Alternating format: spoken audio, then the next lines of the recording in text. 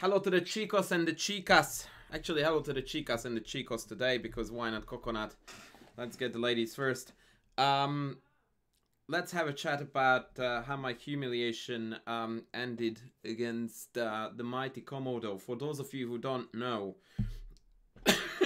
excuse my coughing.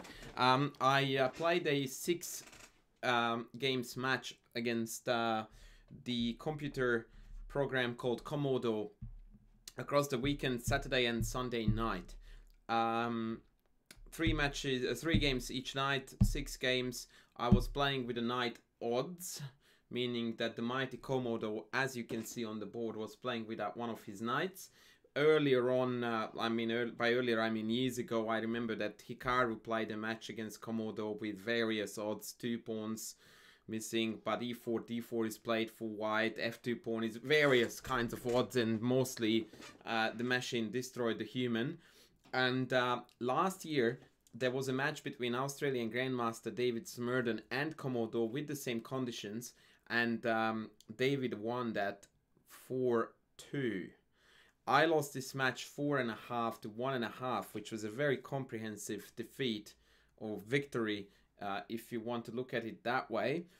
Um, and before I get into the actual games, I would like to tell you a little bit about the whole story and uh, what was going on here. So, um, the developer of uh, Komodo is a, an American grandmaster called uh, Larry uh, Kaufman, and he approached me and asked me if I would be willing to play uh, a match under those conditions. I happily obliged, um, and uh, I have got no regrets whatsoever with uh, doing this match. That being said, um, I never ever enjoyed playing against a, a computer, and I dislike it even more uh, after this utter trashing that I received. A couple of thoughts about the match. A few mistakes I have made that I think impacted the outcome of the match uh, were I I shouldn't have agreed to play this late, but I did so because it wanted to be wanted to make it accessible uh, to both the European and the American viewers, and so I started an extremely late 11 p.m. Uh, time, which meant that the, the, both nights it dragged well into the morning. Not that I'm using it as an excuse, but it certainly didn't help. Uh, I am extremely busy at the moment, and I have been very busy with producing uh, content for various platforms, in particular Chessable. You know that uh, if you don't, then I'm telling you now that my course with Judith Polgar is already out. Please go and check it out. Uh, it's one of the greatest uh, things I've done in my chess life, and it was an amazing opportunity, and uh, I am eternally grateful for that. Uh, to have happened. Having said that, that meant that I had next to no time whatsoever to prepare. Then again, I don't know if I could have prepared, and even if I had prepared, it would have made much of a difference. Last but not least, I had a bad feeling that this was going to be the case, and it actually did happen exactly the way I anticipated, and that is that I regularly ended up in positions where I was easily winning. In terms of, you look at the position and you go like, yeah, it's winning. But it's very, very tricky to actually find an exact way to finish it off. I will show you examples of this. And I just ate my time in almost every single game. And as soon as you are back down to two, three minutes against the machine, fully well knowing that you can't possibly make a mistake is very very challenging so overall I am disappointed about the score I think I should have and could have scored better than this but um, I also think that I hate to play against engines so excuse me on that very positive note let's uh, have a look at uh, some of the games we have played. So one of the things that Komodo kept on doing, and that was based on its previous match against uh, Alex uh, Lenderman, was that they figured out that uh, the reverse Dutch is one of the best go-tos with this uh, structure, or rather with the missing B1 knight. Um, to play, Alex played a blitz match, so six minutes plus one second increment with the same conditions as in knight odds, and he couldn't win. Like he, he scored a three-all draw uh, tie. And uh, on this note, now the same match will be repeated with another Grandmaster, uh, Grandmaster Anthony Wirig. Uh, he's going to play again 15-10 just like we did. Six games, we'll see. So anyway, we had this uh, reverse Dutch setups and it was very interesting because in almost every single game for a very very long time I was very happy with how I was going. I mean, hello, welcome Sherlock. Of course you were because you were a piece up. But still, a lot of things I felt went my way. Like in this game, all the way up to here, I was very very happy with how things uh, had been progressing. But here, I made a uh, an interesting choice after a4, a5, h4. At this point, and hate me for all you like or tell me, call me a noob, whatever, be my guest. When the engine starts playing moves like this, as a human, you get you become a little bit nervous. And that's actually in the summary I forgot to mention that this is the last thing that psychologically and mentally to overcome this is just an extreme barrier to know that the computer never makes a mistake. And so I kept on second guessing myself and triple and quadruple checking everything I did and decided to do, which costs me a lot cost me a lot of time. Um, I will say this because I'm very curious if I can provoke a lot of uh, hate uh, messages out of this, but I have spoken about this match before the match took place to a friend of mine who is not a chess player and knows not an awful lot about chess. And I told him that this match was coming up. I was playing against a beast that would put away any human without losing a single game out of 100. And uh, I'm going to play with knight odds, which is huge. But still, I don't know if I will win. And then when he tried to figure out what this knight odds meant, I said to him that no human could beat me with knight odds. And he found it absolutely astonishing that I said that because he didn't think that knight odds was so great that uh, that was gonna be an issue. Now, do I still think that no human could beat me with knight odds? I certainly do think that in terms of a match. I don't think that if I played against a human uh, in a six game match with the same conditions, they would stand a chance. Any human. So, Maggie. And the reason why I'm saying it is there are two reasons. A, because it sucks, man, to play a position like this with white when it's constantly on your mind that you are piece down and even if you weren't this position was nothing to write home about. Secondly a human cannot play as fast as an engine can and therefore with the times far more balanced than it was against the match errors on either side are a lot more balanced out than here when we knew that the computer is never gonna make a mistake. So, and the more you expand the time control, um, the more likely that I could compete with the machine. Anyway, so here I started to worry a little bit about um, this kingside attack, all these pawns coming up into my face. And so I started playing a little bit too energetically and instead of my initially planned knight b6, which is totally fine, I decided to accelerate things by throwing a pawn at him. The reason why this thinking was faulty was because if I actually had spent time here, I would have found the idea that I found a move later when it was already too late, which was that after c4 takes takes g5, rook d8, bishop g2, I realized that h5 doesn't really worry me because after knight c5, I will take back with the f pawn and then I'm going to play rook a7 to cover up the f7 check, excuse me, threat, and I am mint, golden. And that's how the game went. He played, well, it played h5, I played rook h7, a7, sorry. And uh, at this point, I realized that, once again, take, take, f6, I drop back, f7, check, I go here, and there's nothing there. Now, if I had realized this motive a tad earlier, then I would have played here knight b6 without sacking the pawn and you know, taking unnecessary risks and take it from here. And I very much doubt that I would have lost this game. But these little mistakes all add up. And now after uh, rook d8, bishop back knight c5, h5, rook a7, I played a4, which I thought was good. And here came a very nasty surprise that flipped the whole game on its head. I really didn't like this move. And I spent an eternity trying to meet it. Best take take and be free. I don't know why, but I didn't even consider this move a possibility. And it's really unpleasant because they want to play bishop a3 and then all of a sudden white has got quite well placed pieces and um, it's not that clear. And you are looking at the evaluation you go like dude it's still minus four. Yeah i know. Try it and you will feel it when all of a sudden realize that your opponent has played that they never had before and you know that your opponent is never going to make a single mistake these things become a lot more blurry so i played rook f7 which was probably a meh type of move but i wanted to reduce the threats that i needed to look out for bishop a3 came and I dropped this bishop back to move out of the b4 b5 fork. B4 came, 96 came and at this point I realized that um, I needed to give the piece back, which I did.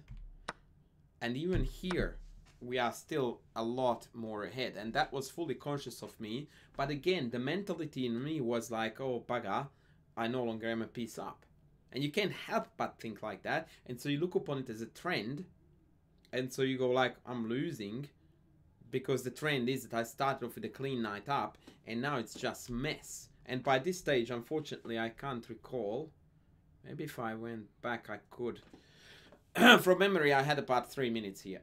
And the engine was constantly on like 13 minutes, 12 at, at the least. Bishop went back to c1, I went to c5, knight f3, and this was the time when I really, really began to worry about, oh my god, like e5 was hanging, knight g5 is pending. So I went in, and again, I also overlooked this move. Such a typical engine thrust. And even here, according to the eval, it's a, it's a draw. But I would challenge any human living to hold this as black with two and a half minutes on the clock versus 10 against Komodo and see how you go. For the record, the engine plays at about a 3600. You heard that right. That's where it's rated. Knight f6 takes takes. And um, it, it turned into a very, very curious endgame. And I know that I'm playing a fair few moves rather quickly, but I want to show you a lot. And I don't want to make this video too long. So we went into this endgame, and I thought that surely surely I should survive this, right? Like it's triple C pawns. But the thing is that the position is extremely dynamic. My king is a little bit ticklish. And the main feature is that the two bishops are absolutely vicious, man. And by now I have no time. So now I'm on about one minute. With 10 second increment, when I say I have no time, I never ever am going to lose on time. That's not going to happen. But what's going to happen is that the quality of my play is going to drop drastically. Rook c8 was fine-ish. Bishop b2 takes, takes, rook c4. And at this point, I was like, man, I'm going to play this for a win. He plays, oopsies. Now I'm just ruining the fun. He plays c3. I played a3. I'm like, okay, the pawn is guarded. What can happen? And then this move came. And boy, good luck meeting this. Like all kinds of very filthy discovered checks are hitting me. King h8 is entirely out of the question because it walks into that fatal pin. And so you go like, what then? And so I thought, okay, I will sack the exchange because I'm still having two pawns for it. And I will just fortify my position like so. And I'm still not losing. This was actually one of the best performances across the match I put up, despite of the fact that I lost in the end. Rook f8, king f7, and it's very unfortunate that I actually can't escape this bind properly. Rook g4, rook e3. This was a move that I also overlooked. That was the last moment in the game when I executed a move and I was like, no way am I gonna lose this. No way.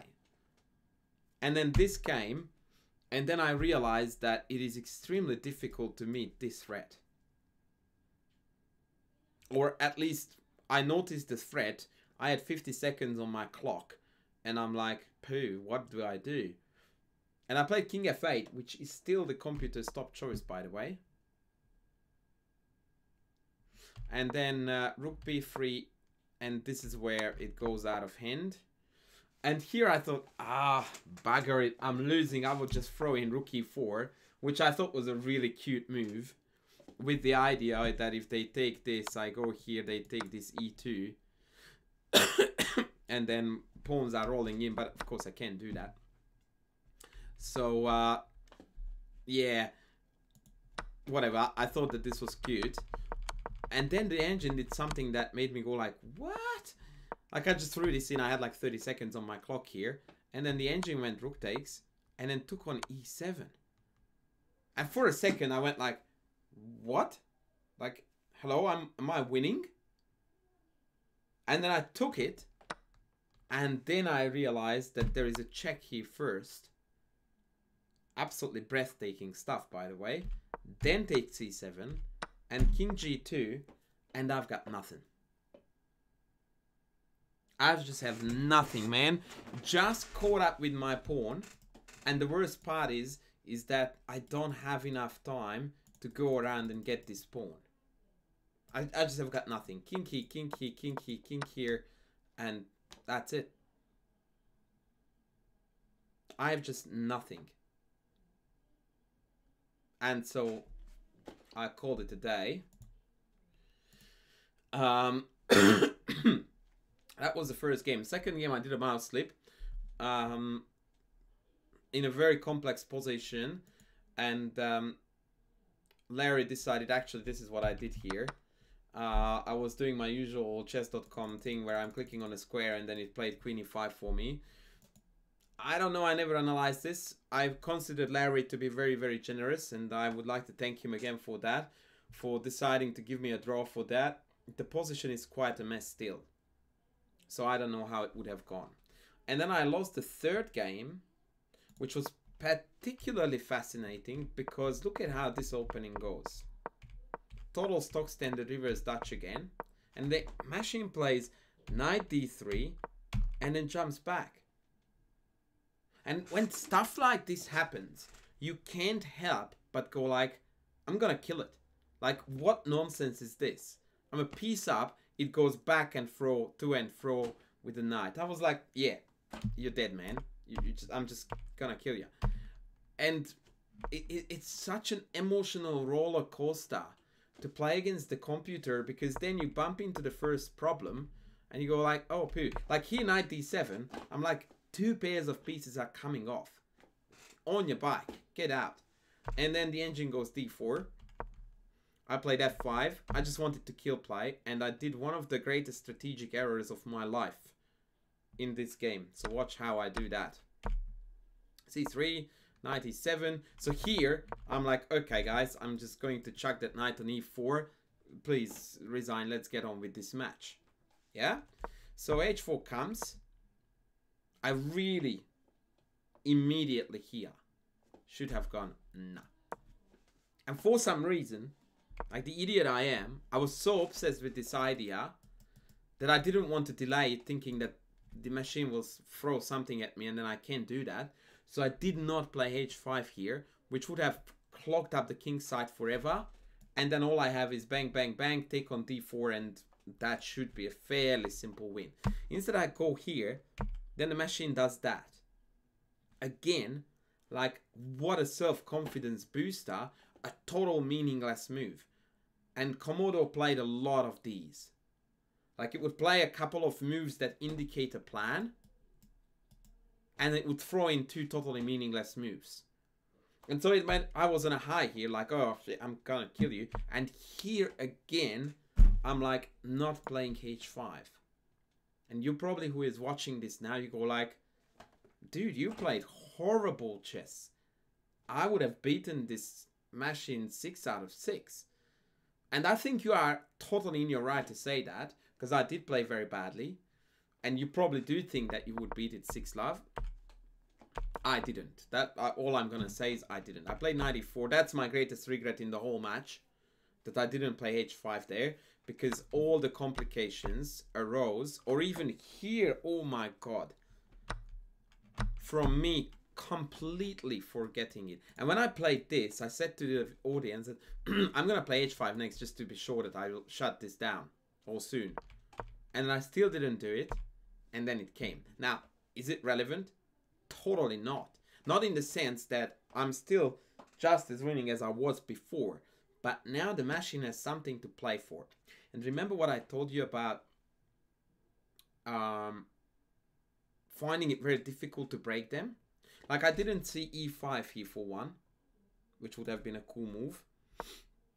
And in general, you feel very reluctant to engage with the machine in tactical skirmishes because you know that that's where they excel. So my plan here was caveman triple up and go in. And you can't really blame me for that, right? So he goes g4. I go king f7 to defend g6. Queen h2. I will go bishop d5. At this point, I wanted to shut the bishop down, and that was another thing that I failed to do. Because here, I played rook c6, wanting to attempt to take, take, take, take, and then g6 hanging. And I moved the queen away, which I more than likely should have moved back this way, if at all, or just play b4. Because after take, take, take, take, take, I just take, take, take, and this is carnage. Like rook h8 actually is just winning the game. And I saw this motive. And I still didn't play b4. Which would have shut down the bishop forever. And again a5, a4 and I just win. Didn't do it. What did I do? I went back. And at this point, I spent an eternity calculating rook c2. The idiot I am. And I figured that after take, take, take, if I take here, I didn't like this check. And then I felt like my king was feeling a little bit funny. So what I wanted to make work was to take here. And then after rook here, take here. But here after queen here, I don't have a check. And after rook check king here, I didn't feel quite comfortable with entering rook h7 queen g5. I thought that this was... This is not the type of stuff you do when you're playing against a computer that never makes a mistake tactically. And I had to evaluate this from this position with like five minutes on the clock. So I just went like, no, stuff this. I'm just going to play here and not go in. And then I just kept on playing moves here and I wanted to crack him on the queen side. And look at how beautifully I get destroyed here. Totally winning position. I take this. I go back to defend this for the record, um, yeah, no, sorry, no. Wow, that's to come later. I took this. And then they played queen g5. and um, this was one of the motives in the game that didn't occur to me at all, which again you would say is utterly ridiculously stupid. That I could have played here this, this, this. And there's not an awful lot left in the position for white to do. Because uh, the h5 counter pin, pin is going to be deadly. Now, instead I lost in a very, very spectacular way. And I tell you what I was losing my time over here. What I was losing my time over was the fact that here I wanted to pull back to d5 and I'm actually going to shut down the analysis because I want to know if I'm correct or not without the analysis. And then I noticed, and again, you are thinking like this when you're playing the engine. I'm like, hang on a sec, take, take, take, take, take. And if I take, then check and checkmate. I actually saw this mate. Which I was extremely proud of myself for, because that's the reason why I didn't play here the otherwise in very logical looking bishop d5. And because of I saw this motive, I got rattled. And I'm like, oh my god, this is on. And then I started to look at just random moves to see if that threat works if d5 square is not clocked up. And uh, even that there, no, there is actually nothing there. Now I can walk. The problem there was a timely d5, which I still managed to suck in in the game like so. And when this landed on the board, psychologically I was lost. Because I knew that I couldn't take with the bishop because that would block up the square and there is no escape and I die to the previous queen sack. And so I had to come back and here I entirely forgot that my rook was shut out of the defense and g6 was on. Like, I kid you not, I just totally forgot. I just pulled the queen bishop back and when he took on g6 and f5, I'm like, oh boy. That's how I'm ending up, up with not a single win of the day. And I'm dead. That That's how I lost this. I went check, it blocked it, take, take. Rook in check, king up. Takes, takes. And here, I mentioned a funny line to the audience, which was based on. Yeah, I saw. How did I? I don't remember. Some Queen E8 ideas occurred to me, but I didn't even look into this. And, um, ouch. That is when you go like, it's not fun to play with machines. Check, and I can't block with the queen because queen promotes, and I did, and I die. So that was my first day. Rather rough, you would say. Could say. Um, following day...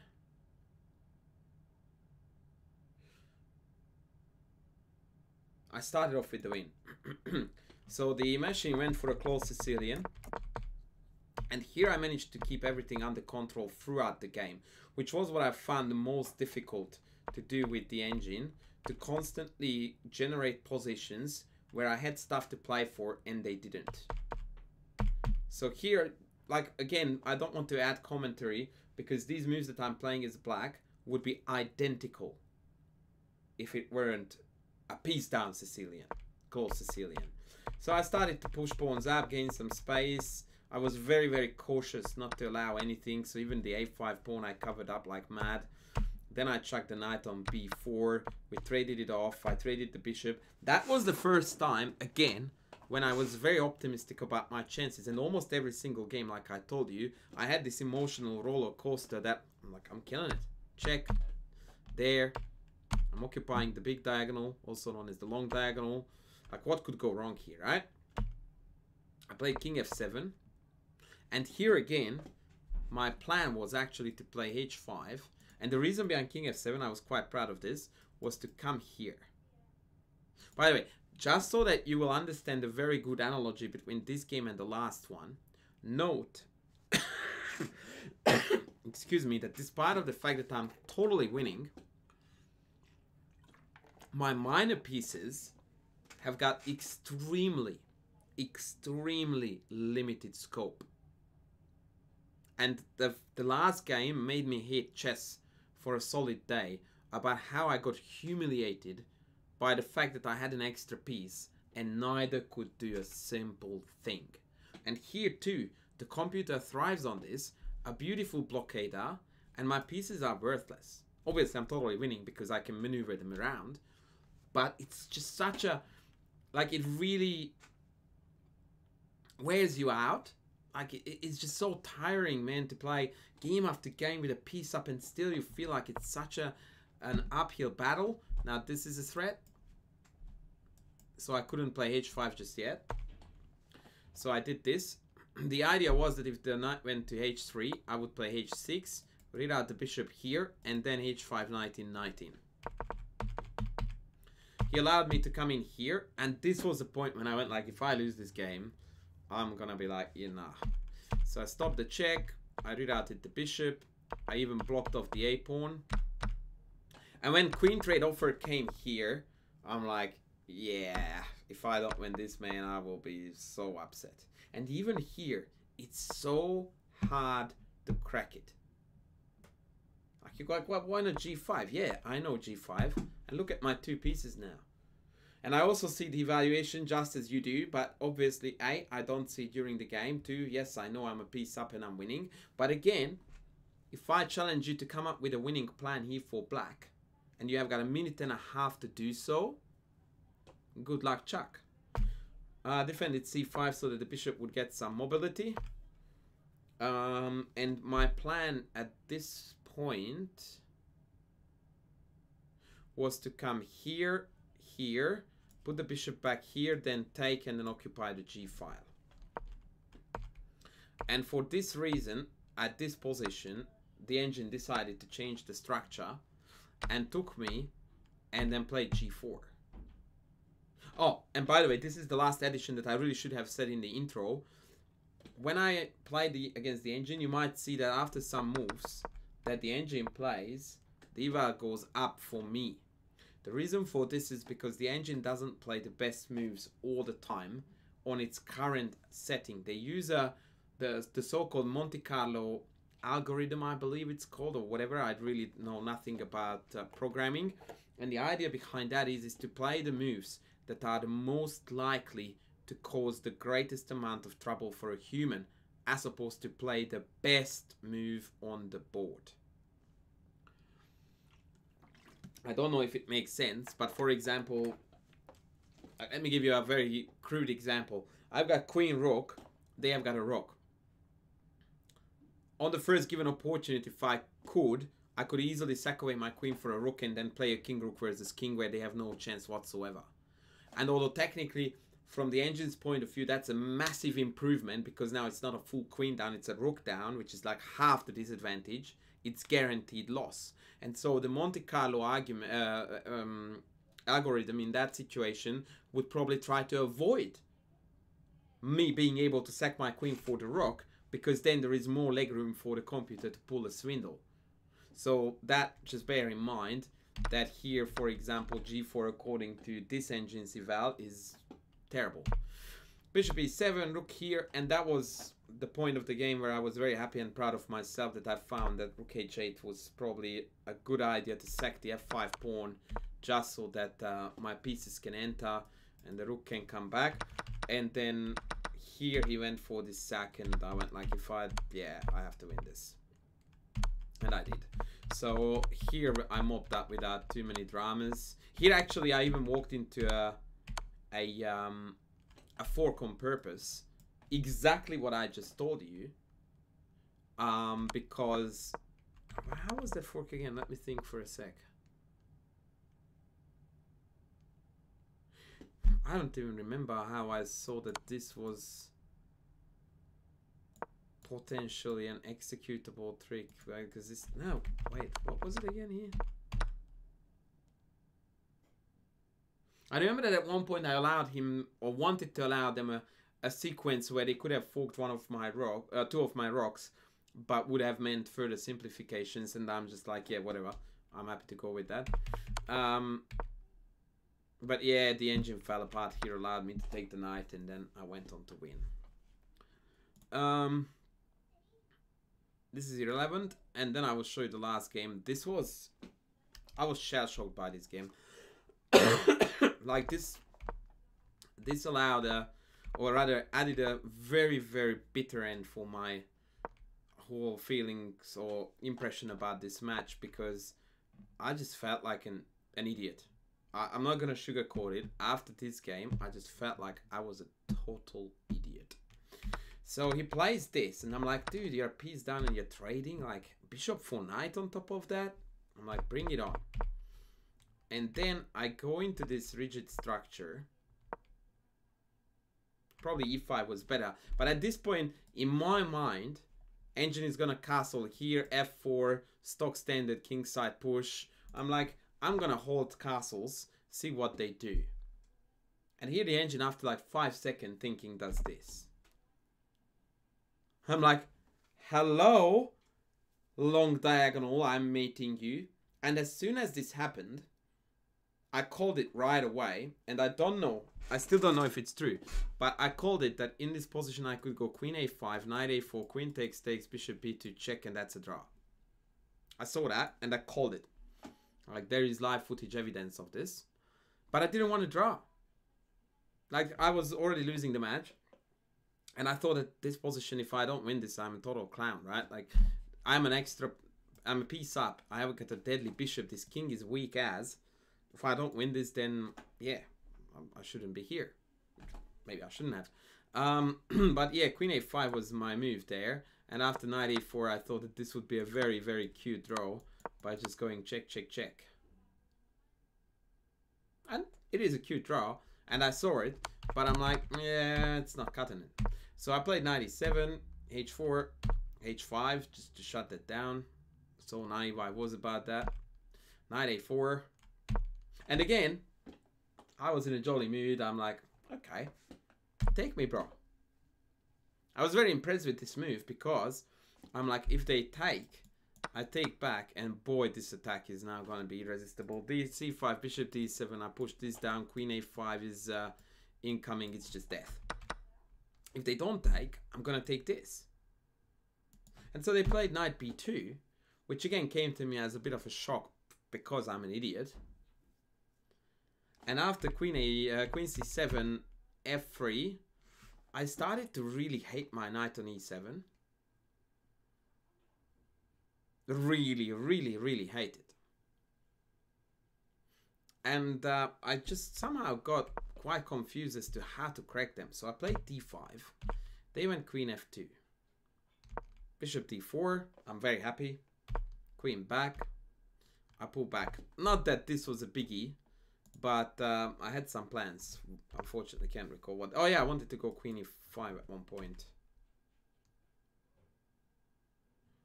And if c3, then what? I don't know. Anyway, king b1, bishop a6, obviously plan c4. Plays g4, and I didn't play c4 here. And probably I should have. I mean, F G3 again is a typical move where you go like, dude, you can do whatever you want. And I just played very timid chess here. I was actually very happy to see this because I thought, okay, let's trade it off. And man, from here on, even just to re relieve this game is the most miserable experience, one of the most miserable experiences I've ever had over a chessboard. Goes here, I go, I actually totally overlooked queen a5, and it's a very unpleasant move to face. That bishop on a6 is awful. The knight on e7 is horrid. I'm like, I, I, I, at this point, I, I began to feel like I'm a piece up, and I feel like I'm a piece down. Not, I'm not kidding. So he defended that. Now I had to find some really clumsy way to defend this. Drop the pawn. Um, whatever. Can't care less. Let's go endgame. No and puts the queen in a ridiculous spot. Wait, did I not bring up the last game? the last game was insane, man. I have to show you that. Um, bishop d7, c4, rook b4, and knight a4. And I'm like, man, I, I can't move my pieces. It's unbelievable that I'm a piece up and the guy's calling the shots. It's ridiculous. I had to defend the pawn, king a1, castles, queen back, d4. I thought, ah, no whackers, I will shut the center, I will come here, I will take this or this, and I will win. And I kind of was worried here about queen f6, to be honest, which was probably a totally unjustified fear. E uh, d4, and as you can see, my advantage is melting. Queen c1, I played here. I was super impressed the idiot again with this move, thinking, yeah, they play lemon, I go rook b3, and on your bike, because after takes takes, I'm just gonna pick off this, you can't stop it. Why I thought that the engine would suck this in, I have no idea, because I'm playing against a machine that plays 3600 level, right?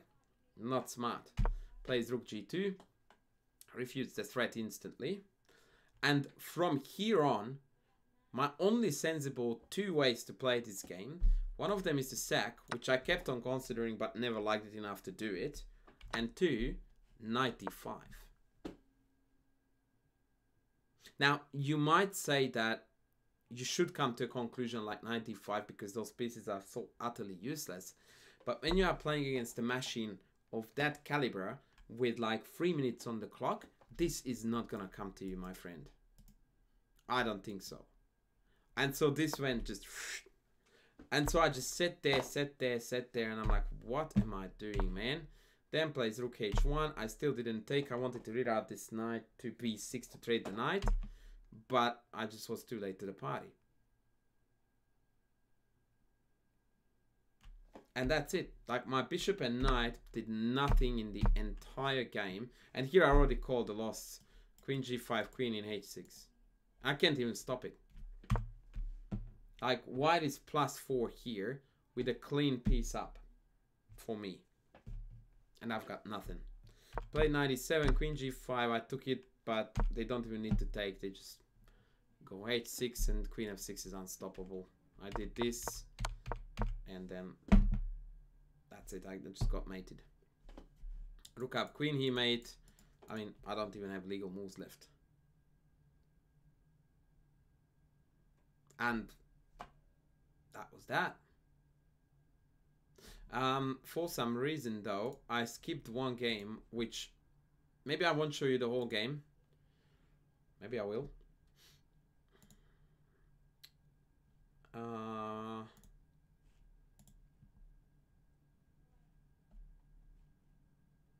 was the one where the machine was white?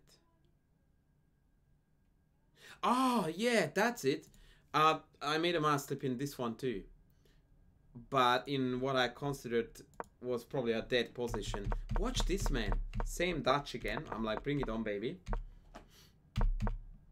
That's d4.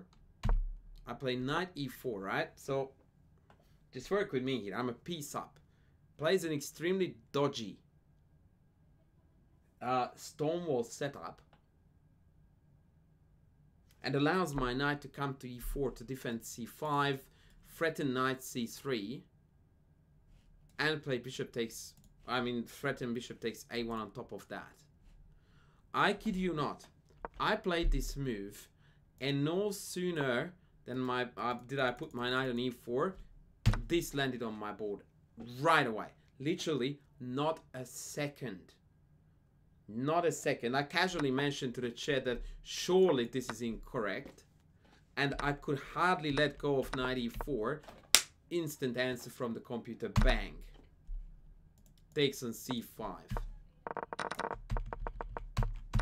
I was like, wow, man. Like, now I take on a1.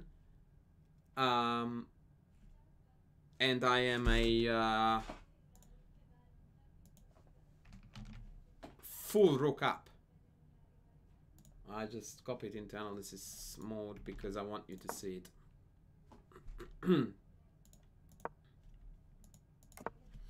so, instant movement. Instant. Bang takes on c5.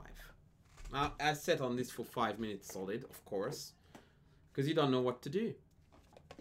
Because I really want to take, but I didn't like the fact that I have to take, take, rook here, castles um, rook d1 and this is where you become irrational about your own positions when you're playing against an engine because if you play this against a human you go like what's your story bro? You're a rook up. You play this against a machine you go like rook d5 is hanging. The long diagonal is weak. They have the two bishops. I wouldn't want to play this against an engine. And so you don't. And that's the call you make which is utterly ridiculous but that's how the human psyche works. Perhaps when you're unprepared to play against the engine. Perhaps even if you are prepared. So I didn't accept it, I just castled. Took on d5, knight c3, queen g5. I'm like, dudes, I'm 100% I'm winning. And I really wanted to go for this variation. And I really like my chances here. I thought that this position was great. I calculated this out loud several times and I nearly went for it. I mean, and I'm an exchange up. They have a pawn for it, but it's a very clean position, one that maybe I could go for. What I didn't like was rook, a, rook a1, ridiculously enough, and after knight a5 c6. And again, I'm a full rook up, but now this is hanging and this is hanging. And I did see this too. At points, I saw incredible depth that I'm, I'm really proud of, even as an IM, that I saw these very deep ideas. The problem is that A, I couldn't come up with a better alternative, and B, as a result of that, there was no value in seeing it because I should have seen it before, should have seen it before, not when it uh, popped up. Same with the queen sack mate in game 102. Like that, I was blown away by how I spotted that. Like, yeah, my killing it, bro. You're so good. Except, what do I do now? And that was constantly the thing that I noticed a lot of tactics when they didn't quite hit me, but I couldn't really do an awful lot about them anymore. And so this was the last game. And again, here, it seems I may have had a perpetual by doing this or a forced draw. I don't know. But I actually decided to step out of it and play queen b8 and play for a win again with the idea of queen b6 hitting multiple things. And again, I don't regret that. I lost this game. I don't care. Um, I don't really think it's in the spirit of what we agreed to do to play for a stupid repetition like that. That's all good for Radjabov. Um, Bishop back, knight here, rook d1. Oh, and this one was actually also ending on a very ugly mouse slip by me, but uh, probably in a position where I was already not doing too well. 94. I thought I was doing great here, and the engine approves. I don't even remember what went sour here.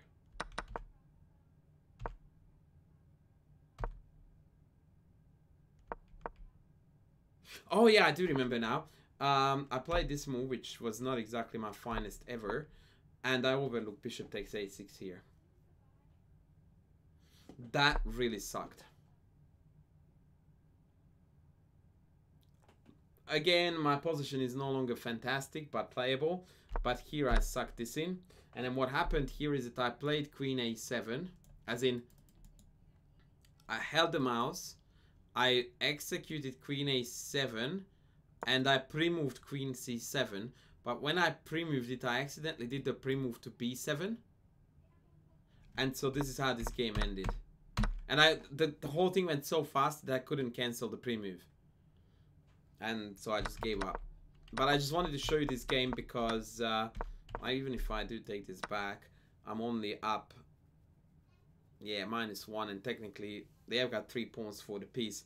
I'm pretty sure I would have lost this. And even here, I saw tactics like the idea behind uh, playing bishop f6 and then not minding f5 is that I have to take take f5. I can take and the bishop uh, escapes via d5 and the long diagonal is a safe haven for the bishop. But what really threw me about this game was the fact that when I played 94 in a split second, bang, this lands on your board. And again, you know that the computer doesn't bluff, but it looks silly. So what do you do?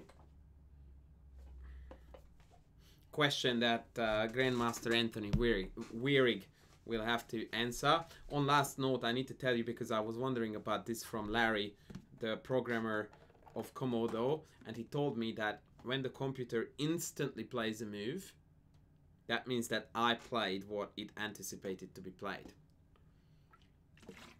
So that actually warrants 94 as almost best.